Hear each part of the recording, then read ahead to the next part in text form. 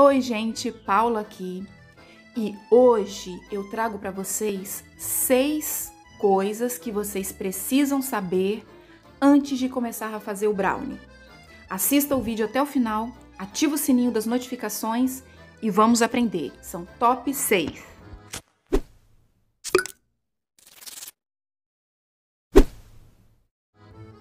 Em sexto lugar, vocês precisam usar manteiga Lembrando que, numa quantidade de 150 gramas, 100 gramas precisa ser manteiga mesmo e as outras 50 pode ser margarina, ok? Em quinto lugar, use cacau em pó 50% ou achocolatado, mas tente dividir entre o achocolatado, que seria o Nescau, e o cacau 50%. E vocês podem também usar barra de chocolate. Isso mesmo, qualquer barra de chocolate, de boa qualidade. Vamos para o top 4. Use papel manteiga na hora que vocês forem assar esse brownie. E não se esqueçam, com o papel manteiga, a facilidade é enorme na hora de tirar, é, tirar da forma, é só puxar ele da forma. Você não vai sujar a sua forma. Isso vai facilitar na hora de você desenformar esse brownie. E outra dica: corte as bordas desse brownie, porque as bordas são duras, elas ficam mais duras. A parte de dentro dele é úmida. O que, que é o brownie? É um bolo úmido, denso.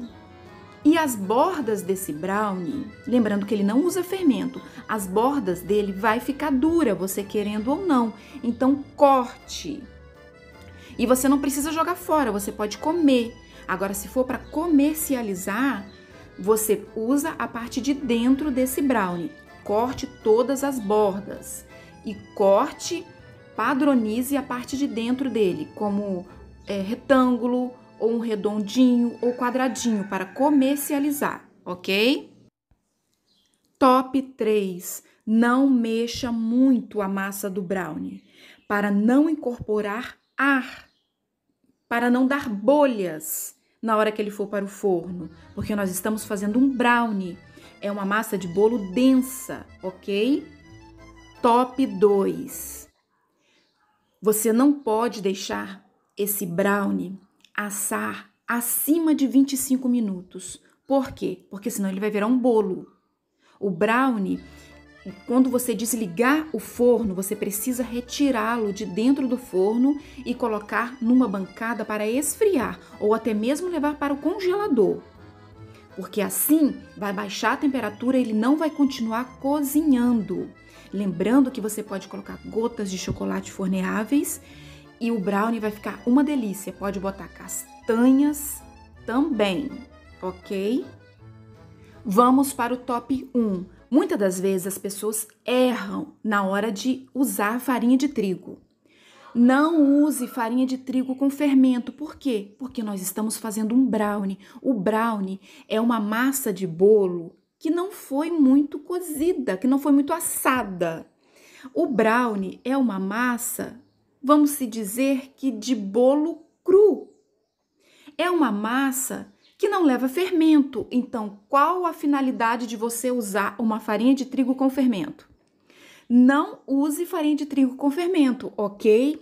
Esse pode ser o erro que você está cometendo e você não sabe. Então, para fazer um brownie, não use farinha de trigo com fermento.